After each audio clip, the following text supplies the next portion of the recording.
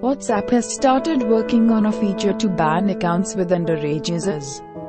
WABetaInfo reported. The report said that it is not known how the messaging platform plans to detect who all don't meet the age requirement. As per WhatsApp's policy, users need to be at least 13 years old or the greater minimum age as per their country's rules.